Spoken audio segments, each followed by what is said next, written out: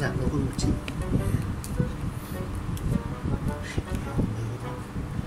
mình làm bán hàng trên Amazon ấy. Nhiều tiền lắm.